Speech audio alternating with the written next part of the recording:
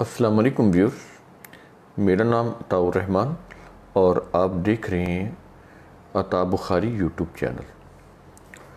तारीख़ पर मेरी किताब अजमत रफ्ता इसके दो हिस्से हैं। शुरू में, शुरू का जो हिस्सा है पहला, उसमें हमने तारीख़ असहाबुलनबी वसल्लम वो बयान की है, जिसमें अहद नबूवत भी आ जाता है और अहद सहाबा भी आ जाता है। इसके दूसरे पोर्शन में हमने ये चीज़ की है कि ये बताया है कि इस्लाम के नाम पर फ़िरका वारियत की इब्तदा कबर कैसे हुई? इस सिलसिले में हमने बहुत सारी उसके अंदर मवाद डाला है लेकिन बड़े मुख्तसर अंदाज से ताकि उसको पढ़ना भी आसान हो और चीज़ों का आ, उसका उनके जो आ, उसके ऊपर गौर व फ़िक्र करना नतीजा खस करना ये भी आपके लिए आसान हो। तो क्योंकि हिस्ट्री की किताबों में तो बहुत ज़्यादा लंबी चौड़ी इतनी तफसील है कि आप कोई नतीजा युखज़ नहीं कर सकते। एक भूल भुलैया है, कोई समझ नहीं आती उसकी। और उसके अंदर फिर जो किज़ब बयानी है, जो गलत चीज़ें हैं, वो एक अलहदा है। लेकिन कुछ सही भी हो सकती हैं तो वो भी इतनी मुश्किल है कि वो सही चीज़ को कोई अगर है तो उसको तलाश करना एक बहुत मुश्किल है। तो हमने ये सारी चीज़ें मद्देनज़र रख के इसको इस अंदाज से लिखा है, ताकि आपको थोड़े वक्त में, कम मवाद में आपको बातें समझ आ जाए कि ये जो मौजूदा, जो मज़हब का ढांचा इतना स्ट्रॉन्ग हो चुका है, ये कैसे डेवलप हुआ? इसको कैसे डेवलप किया गया? कौन थे लोग? उनके मसालक या उनके मजाहब, उनके तस्वुरात क्या थे? उनकी आइडियालॉजी क्या थी? तो ये सारी चीज़ें हम कर रहे हैं। तो इस सिलसिले में हमने बेसिक हिस्टोरियन उनका तारफ़ शुरू कर रखा है।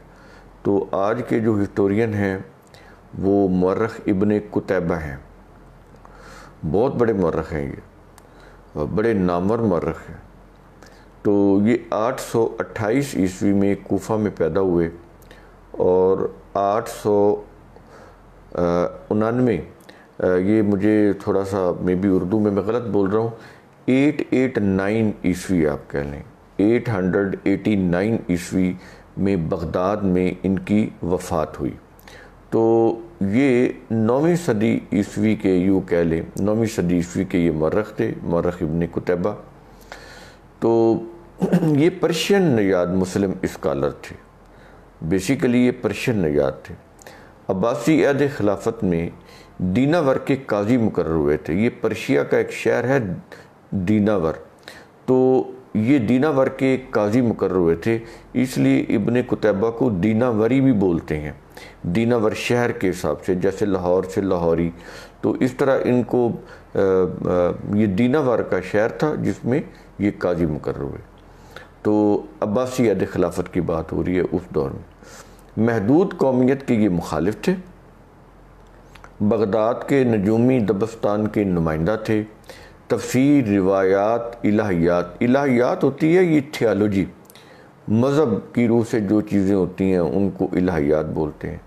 तो इलाहियात यानी थियालोजी, इसके अलावा फ़िलासफ़ी, कानून, फ़िका, ग्रामर, फ़लसफ़ा, तारीख़, फ़ल्कियात, ज़रात और नबातात पर इन्होंने किताबें लिखी। तो इनकी किताबों से आपको पता चलेगा कि ये कोई डेड किस्म के मजहबी नहीं थे। थे, ये पर्शियन ही पर्शियन याद स्कॉलर थे। बगदाद में ही रहे, वहीं पे इन्होंने सारी तसनीफ़ की, अब्बासी दारकूमत में। लेकिन इनका जो नॉलेज था, बड़ा वसी था। तो वो जो वसत है उनके नॉलेज की वो उनके फिर किताबों से भी नज़र आती है। इसलिए इन्होंने जो हिस्ट्री के ऊपर किताब लिखी तो उसका नाम है किताब अलमारिफ़। इसको मारफ इबन कुतैबा भी बोलते हैं। ये हिस्ट्री के ऊपर बड़ी ही उम्दा और बड़ी अच्छी किताब है। यानी जिस तरह से इबन इसहाक हैं या इबन इबन कलबी हैं या ख़ुद कलबी हैं, या इसके बाद फिर वाकदी हैं, तबरी हैं ये उनसे बहुत बेहतर उन्होंने लिखा। यानी उनकी हिस्ट्री के अंदर जो जो बड़ी गलत किस्म की जो रिवायात थी, काफ़ी हद तक उन्होंने उस उस, उसके अंदर उन्होंने उस तरह से बयान नहीं किया। काफ़ी हद तक कमी है इन, इनकी रिवायात में। वो जो मशहूर जो हिस्ट्री की किताबें हैं ये भी बहुत मशहूर है। लेकिन जैसे तबरी बहुत मशहूर है, वाकदी बहुत मशहूर है, इब्न साक तो उस तरह से इन्होंने हिस्ट्री को नहीं लिखा, कदर बेहतर अंदाज में लिखा। तो ये इनकी खूबी है कि इनकी हिस्ट्री, उनकी नस्बत बहुत बेहतर है। गो ठीक ये भी नहीं है, उसकी वजह ये है कि हिस्ट्री तो वही है जो इबन इसहाक ने लिखी और आगे फिर सारे उसी में कमी पेशी करके उस हिस्ट्री को लिखते चले जा रहे थे, लेकिन फिर भी इनकी हिस्ट्री कदरे बेहतर है। तो इनकी किताब का नाम है किताबुल मारिफ। यहाँ पर एक चीज़ समझ लें, इनके नाम से एक किताब मंसूब है अल इमामत वल सियासत। ये एक शिया नुक्ता नज़र की हामिल तसनीफ़ है। इसके अंदर जो रिवायात हैं, वो सारी वो अहल तशी वाली रिवायात हैं। तो इसको मंसूब किया गया है इनके साथ, लेकिन ये इसका आप, इस किताब को उठाएँ और इनकी किताब अलमारफ को उठाएँ, दोनों में बहुत फ़र्क है। दोनों किताबों के अंदर बहुत फ़र्क नज़र आएगा आपको। तो ये इससे मालूम होता है कि ये किताब अल इमामत वल सियासत उनसे मंसूब की गई है लेकिन वो उनकी किताब नहीं है। हमने जो अपनी किताब लिखी है अजमत रफ्ता, उनके अंदर जितने भी हम इंट्रोडक्शन करवा रहे हैं आप देखेंगे कि उनके हवाले हैं। हमारी उस किताब के अंदर उन्हीं के हवाले हैं। तो हमने जो ये किताब जो लिखी अजमत रफ्ता इसके अंदर हमने यही जो बुनियादी हिस्टोरियन है, इन्हीं की किताबों के हवाले दिए हैं। हम इनसे बाहर नहीं गए। यानी बाज़ ऐसी हिस्ट्रीज मुरतब हुई हैं, जो इस तरह की हिस्ट्री से हटकर उन्होंने अपनी तरफ़ से कोई कह दिया कि फ़लाँ को डायरी बरामद हुई थी, उस डायरी के अंदर ये लिखा हुआ था, फिर वो उससे उन्होंने बनाने की कोशिश की है। तो उसको मानेगा कौन? तो एक बड़े मशहूर स्कॉलर हैं तो उन्होंने इसी तरह की कोई डायरी की, बरामद की है, जी, वो मिल मिल गई और उससे उन्होंने फिर कुछ चीज़ें ली। लेकिन उसकी हैसियत नहीं है। आप देखें ना, सिलेबस में पढ़ने भी जाएँ तो आप यही तबरी पढ़ेंगे। यही आपको सिलेबस में पढ़ाया जाएगा। आपने अगर पीएचडी भी करनी है तो ये तबरी की तारीख ही पढ़ाई जाती। तो हमने जो जो हिस्ट्री सिलेबस के अंदर है, जिसको सब मानते हैं कि ये हिस्ट्री का सोर्स है और यहीं से आगे हिस्ट्री चलती, हमने वहीं से हवाले लिए हैं। इसलिए फिर उनकी अहमियत बढ़ जाती है। उन रेफरेंसेस की, उनके अंदर जो हमने पेश किए जो मवाद, वो फिर अहमियत इख्तियार करता है। फॉर एग्ज़ाम्पल अगर तबरी में ये है कि करबला का वाक़ जो है वो दस मुहर्रम को हुआ और करबला में हुआ तो वो ये कहते हैं कि इसी, यही तबरी अपनी उसी तारीख की किताब में कहते हैं कि ये जो वाक़ है वो माह सफ़र में हुआ, जो मुहर्रम से अगला महीना है। और कहते हैं कि वो करबला में नहीं हुआ, वो कहाँ पे हुआ? कहते हैं नैनवा में हुआ। जो मौसल जो इराक़ का शहर है, वहाँ उसके नज़दीक, वहाँ हुआ। अब ये तो फिर करबला से और भी ज़्यादा दूर है। तो यानी ना मकाम के, मकाम भी कंट्राडिक्टेड है और वो जो महीना है, वो भी कंट्राडिक्टेड है। अब देखिए ना, कत्ल अगर कत्ल हुआ है ज़ाहिर हुआ है तो वो किसी एक या तो कर मुहर्रम में हुआ या सफ़र में हुआ, या किसी एक जगह पर हुआ, करबला में हुआ या नैनवा में हुआ। तो जब आप कहेंगे कि किसी कोर्ट में जाएँ, उस कोर्ट में कहें कि वो जो फ़लाँ कत्ल है, मेरे से 200 साल पहले जो हुआ है, वो जो कत्ल है, वो लाहौर में हुआ और कभी कह दें वो कराची में हुआ, कभी कह दें जी जनवरी में हुआ, कभी कह दें जी फरवरी में हुआ तो अदालत क्या करेगी? ऐसे ऐसे जो शहादत देने वाला, गवाही देने वाला होगा, उसको कमरा अदालत से बाहर निकाल देगी। जो इतनी कंट्राडिक्टेड बातें करता हो। देखिए हिस्ट्री भी एक शहादत होती है गवाही होती है।